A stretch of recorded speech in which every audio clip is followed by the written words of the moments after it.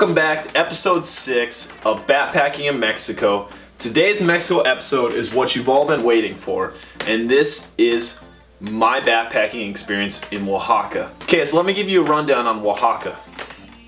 If you don't know anything about Oaxaca, it's a state in Mexico, and this state is deep down in the south. And if you know anything about Mexico, is down in the south, that's when the culture of Mexico really hits you in the face. Like you look everywhere and there's culture.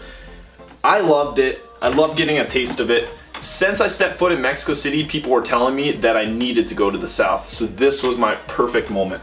You're watching a good video is what you're up to. If you haven't seen episode 5, I recommend you go watch that because at the end I talk about my experience on my flight from Guadalajara to Oaxaca and how I was taken back and I thought the plane was going down. Really, really interesting. Go watch that. Link is in the bottom of the video in the description. My first moments in Oaxaca were pretty interesting.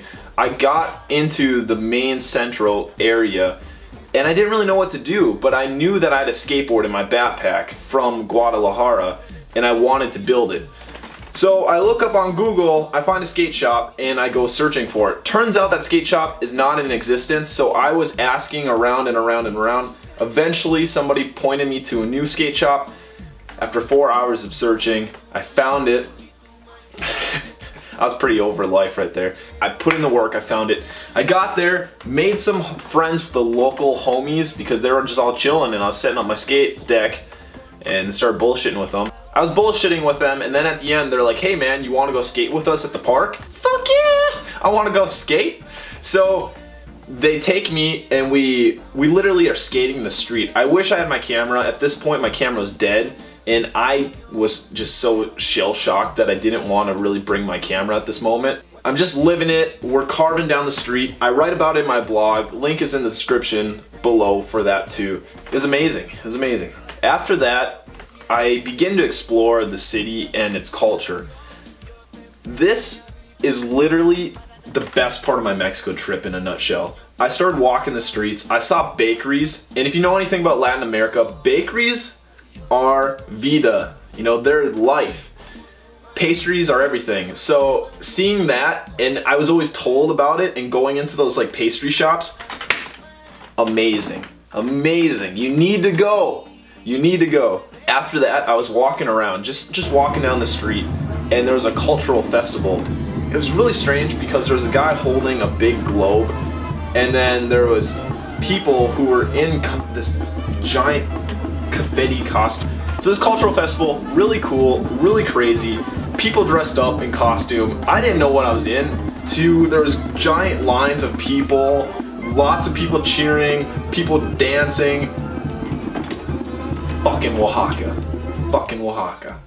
As I continued my adventures downtown, I was looking for mustache wax, and I've been looking for mustache wax since Mexico City. I didn't have like a trimmer for my mustache, and I didn't want to shave my face and look like a 10 year old. So this thing was just getting longer and longer. Found this wax shop, and I started twisting my ends. Like that's when I fully discovered I could. And now you see what it is, baby. You see what it is. It's handsome. It's handsome AF. I ain't being pompous, I'm telling the truth. I also was walking around and I went to the cathedrals. Now there's a lot of churches in Oaxaca. It's really cool because it's a cultural thing. So there's there's street performers, there's people selling things, and I kind of just skated there and plopped myself down and watched this guy perform. It was an amazing act, and at this moment of watching this man speak in Spanish, I realized I could I could understand him. I could understand this guy speaking Spanish. I wish I would have filmed it, but he starts like teasing me a little bit because he sees I'm an extranjero, uh, a gringo, a güero, whatever you want to say, a white dude. He, he sees that I'm a foreigner and he starts talking some shit. And I was talking shit back to him in Spanish. It was amazing time. Street performers are the shit. So hyped that that happened. And of course, exploring, if you ever explore, you're gonna get lost. So I might as well talk about getting lost. Traveling, man. The most easy of things in a foreign country are so hard. There was one day where it's like, okay, I just want food. I just want food. That's all I want. So simple. But I needed to take a bus, 13 blocks. And I realized something. 13 blocks is a long time to walk if all you're gonna do is walk. I learned that quick in Mexico City. So 13 blocks, let's get a bus, let's go. I took this bus, I ended up taking the wrong one. God damn it. As time has it, I eventually find a, the right bus and I get to this restaurant and I get my day going. I also realized during this moment that Skittles are my comfort food. They're like untouched and so they really do taste like the Skittles I've always had in America, like growing up and whatnot. So that's why when I'm feeling bad or when I just want to have something good to eat, I go for Skittles. Might sound weird, but it's the truth. In Oaxaca, I got homesick a little bit. And that was like my food because they were untouched and I'd eat them all the time. Amazing. I, I loved them. I'd stack up on those Skittles. So as I told you before about my friends I made at the skate shop, I continued to skateboard and I continued to skate with these people. They would take me around. We hit like a, a six set. We um, we went up this radio tower. This radio tower, radio tower hill. So yeah, we went up this radio tower hill. It was really crazy. They were just taking me around and I was just there for the ride, as I usually am in these foreign countries. That's all you can be is for the ride. So they take me up this hill and then they're like, yeah, let's go down it now. you, you guys want to go down this hill? This big hill. It's a, it was a big freaking hill. We went down, fun, fun as frick. I mean, you've got to be PG. Fun. It was so much fun. We went fast. We had a great time. I had some laughs, did some tricks, got some ladies. No, I didn't get any ladies. But scratch that. Had a fun time. Now, the next thing I did was tourism. Tourism is that that iffy thing. I go to places not for the touristy aspect. I go for places for the culture. And I think that's what people need to do. If you're going to travel to a foreign country, please go for the culture. It's cool to see things, but it's also cool to meet the people. The entire time I was kicking with, with uh, the people, the culture, and then I was like, okay, you know, I'll give tourism a shot. Let's go. So I got on this bus because it was a great price and it was going to take me to all the tourist destinations in Oaxaca, the central part of Oaxaca. I get in there and our first location is the Arbol del Tule. And this Arbol del Tule is a gigantic tree. Like it would give Paul Bunyan a hard time. It's that big. And next to it there's like a giant cathedral. It was something to see. I'm glad I saw it. And then um, just walked around. Really, really cool experience. You can't touch it, and if you touch it, you're gonna get in trouble. A giant ass tree and a freaking church. I could have spent that 10 pesos on a beer.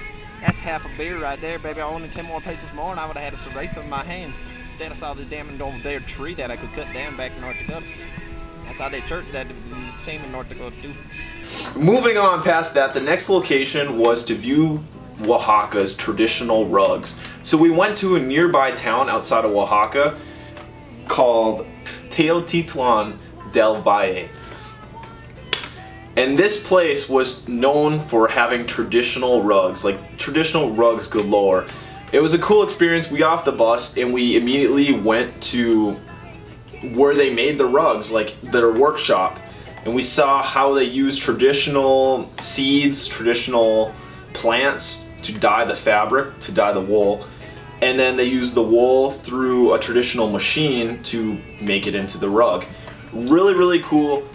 So from there we got back into the bus and we went to Mitlan. And Mitlan is a city near Oaxaca, I believe, town, city, and it has ruins. And these ruins are very, very old. They belong to the tribe Zapotec. Zapotec I don't know anything about. I just know about Aztec and Mayan. Zapotec, they're all about squares. That's that's all you really need to know. Anything linear, they're into. So it was cool to see that architecture because it's different than anything I've seen ever in Mexico. This tribe had it going on. Very unique. It's a must-see. God, there's so many fucking places I went on this.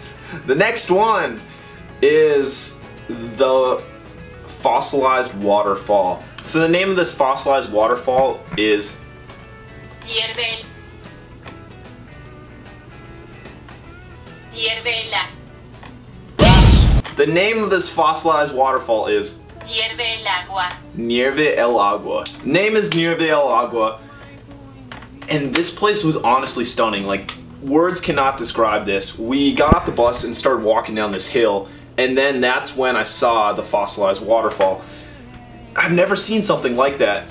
The reason this place is fossilized is because the water underneath this, uh, it's a natural spring. It's full of uh, calcium carbonate and other minerals. So what happens is it comes up and then as the water runs down the hill, it deposits its like minerals into the land and then it falls down. And that's how it's been fossilized over time. And I actually went towards the edge of the waterfall because there's no fences and I wanted to get the best clip for you guys. And I almost died for you. I was by the edge and there's no fence like I said and I slipped. I slipped.